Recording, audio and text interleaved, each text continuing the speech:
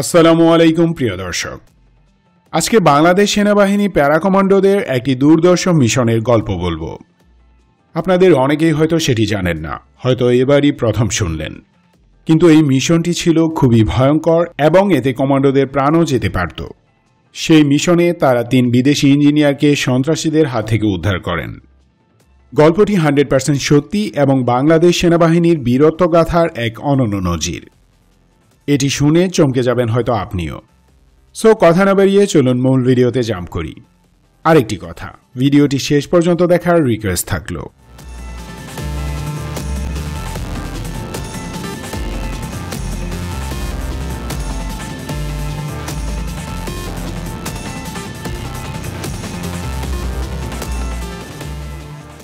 দিনটা ষোলোই ফেব্রুয়ারি, শুক্রবার দুই হাজার এক সাল, বছরের শুরু।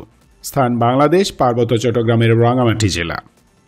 শান্তি চুক্তির মাধ্যমে সরকার পাহাড়ি সন্ত্রাসীদের সাথে একটি সমঝোতা করেছে বছর কয়েক আগে। কিন্তু বেইমান উপজাতি সন্ত্রাসীরা চিরাগনকে বাংলাদেশ থেকে আলাদা করতে বদ্ধপরিকর। তখন চুক্তির শর্ত অনুযায়ী Bangladesh army eighty five percent সেনা ক্যাম্প সরিয়ে নেয় সরকার।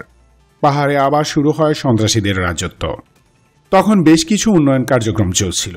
নতুন রাস্তা ও স্থাপনা নির্মাণের জন্য দক্ষ বিদেশি ইঞ্জিনিয়ার আনা হয়। কাজগুলো বাস্তবায়নের জন্য দায়িত্ব দেওয়া হয় দুর্নীতিগ্রস্ত বেসামরিক প্রশাসনকে। বিদেশি ইঞ্জিনিয়ারগণ রাঙামাটির গুনিয়াপাড়া এলাকায় সরেজমিনে জরিপ করছিলেন। সকল উন্নয়ন কার্যক্রম আড়াল থেকে পর্যবেক্ষণ করছিল উপজাতি সন্ত্রাসী গোষ্ঠী, যারা ভারত ও মিয়ানমারের মাধ্যমে অস্ত্র গোলাবারুদ পেয়ে শক্তিশালী হয়ে ওঠে। শান্তি চুক্তির মাধ্যমে তাদেরকে স্বাভাবিক জীবনে ফেরার সুযোগ দিলেও তারা তাদের জুমল্যান্ডের অলিক স্বপ্নে বিভোর থাকে।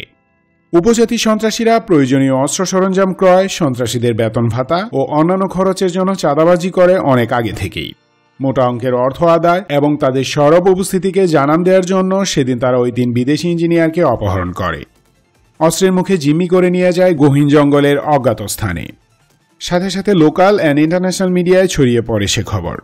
উদ্বেগ উৎকণ্ঠা শুরু হয় চারিদিকে। অপহৃত সেই তিন বিদেশি ইঞ্জিনিয়ারের মাঝে দুজন ছিলেন ডেনমার্কের। যথাক্রমে টোরবেন মিকেলসেন ও নিলস হুলগার্ড। আরেকজন ছিলেন ব্রিটিশ টিম সেলভি। ডেনমার্কের অর্থায়নে তারা একটি রাস্তা নির্মাণ করছিলেন তখন।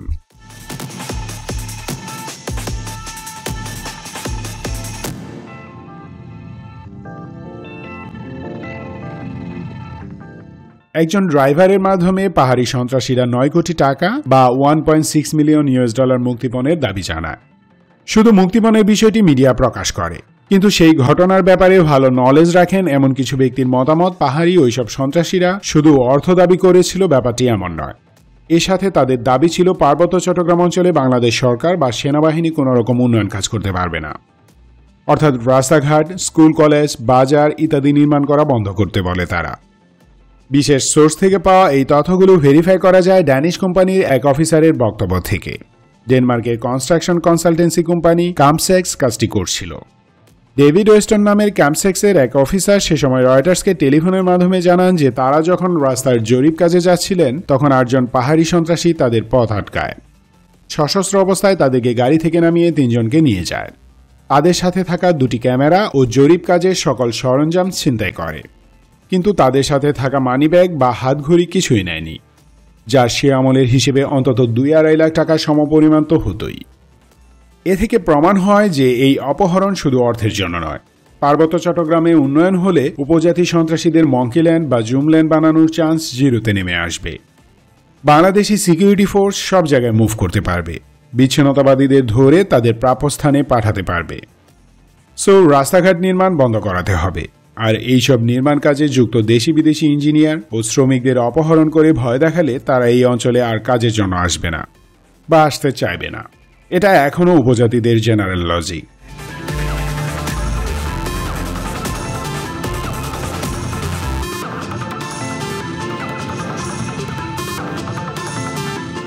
সন্ত্রাসীরা ব্রিটিশ ইঞ্জিনিয়ার টিম সেলবির বাংলাদেশি ড্রাইভারকে ছেড়ে দেয় এবং মুক্তিপণের কথা জানাতে বলে সবাইকে। সে এসে সবকিছু বলার পর তৎকালীন মিলিটারি লিডারগণ সিদ্ধান্ত নেন যে উপজাতিদেরকে একটা কানাকড়িও দেওয়া হবে না। বেসামরিক প্রশাসনকে তারা আশ্বস্ত করেন, তিন বিদেশিকে উদ্ধার করা যাবে। এজন্য বিশেষ কোনো বেগ পেতে হবে না। আর্মি অফিসারদের প্ল্যানিং এবং ডিরেকশন অনুযায়ী বাকি পদক্ষেপ নেওয়া হয়। ওদিকে সেনাবাহিনী অপারেশনের প্ল্যানিং শুরু করে দেয়। একটি নিখুঁত ফুলপ্রুফ সলিড কমান্ডো অপারেশনের পরিকল্পনা চূড়ান্ত করা হয়।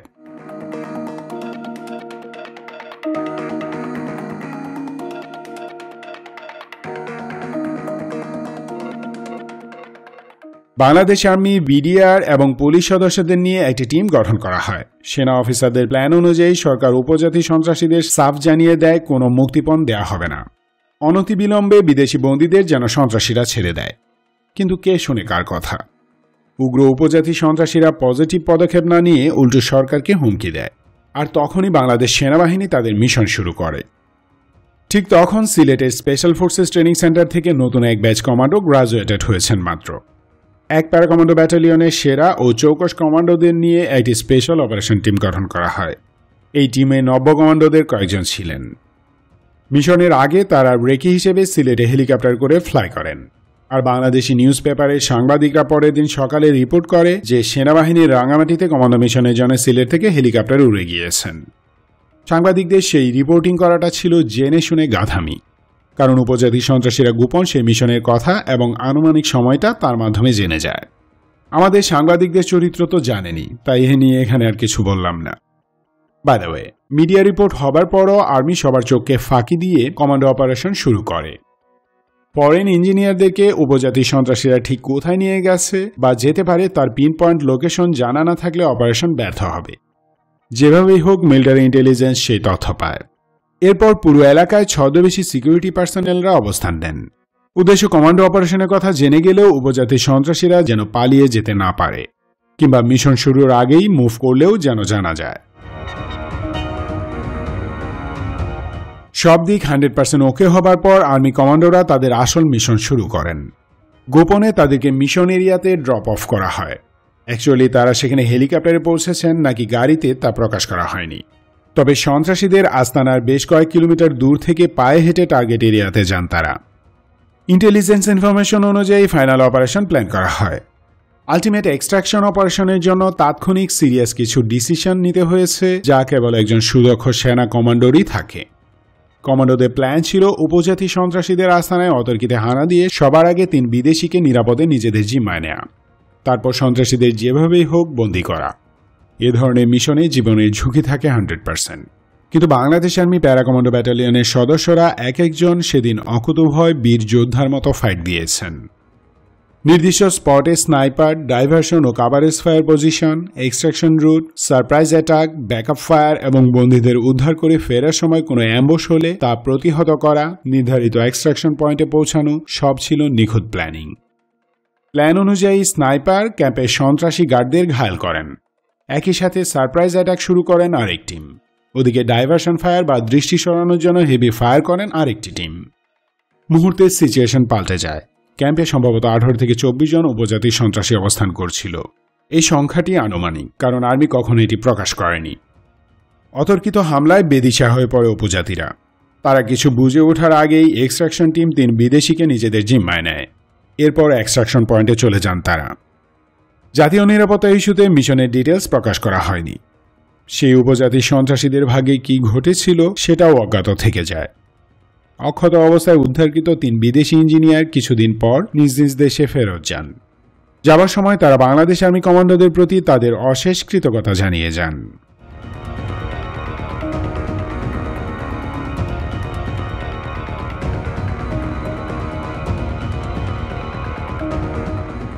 দুই হাজার এক সালে যখন এই ঘটনাটি ঘটে, তখন বাংলাদেশ টেলিভিশন মিডিয়া বলতে সবেধন নীলমণি বিটিভি।